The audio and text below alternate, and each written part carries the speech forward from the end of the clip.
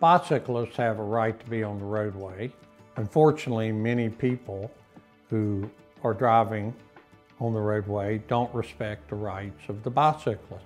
We love the fact that bicyclists have the same legal right to be on the roadway as drivers of cars, trucks, uh, motorcyclists.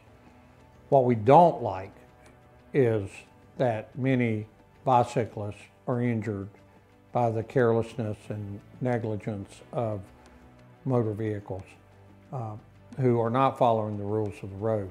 We do represent many bicyclists who are catastrophically injured due to the negligence of others.